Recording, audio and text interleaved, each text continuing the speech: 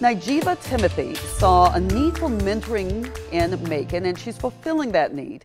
She started the Girls Dig Deeper initiative in 2018, and since then, Timothee says she's mentored more than 50 Macon teenage girls. Naomi Washington has more.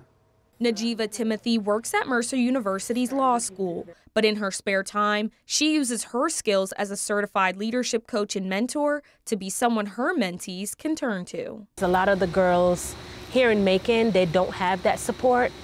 Um, and so just knowing that I can be that support to them, be a big sister to them, um, just be of guidance and support to them, it, it feels good. The Girls Dig Deeper mentoring group she started meets twice a month.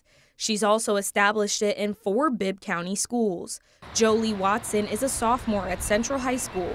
She says being a part of Girls Dig Deeper improved her mindset. It has made me you know, more clear, more positive about myself and, you know, focusing more on, you know, the future for me.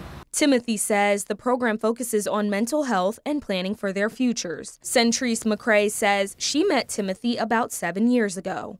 She says she's benefited from the mentorship and meeting other mentees. You get to watch all these new people learn more about themselves and as they learn more about themselves, eventually they move on and they found they find better ways to do things. This program is also part of the Macon violence prevention efforts to reduce youth crime.